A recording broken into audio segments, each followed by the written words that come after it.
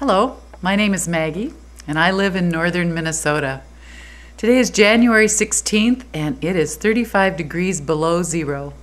I'd like to share with you what happens when I throw a boiling pot of hot water out in the air. Take a guess.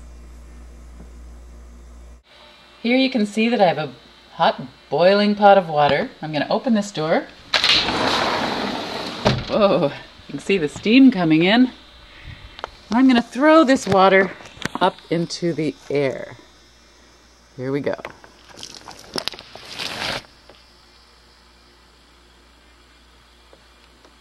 Yep. Exactly. There's a little bit of water that fell in the snow, but most of it went up into the air as steam. It's a quiet January morning in northern Minnesota. I bet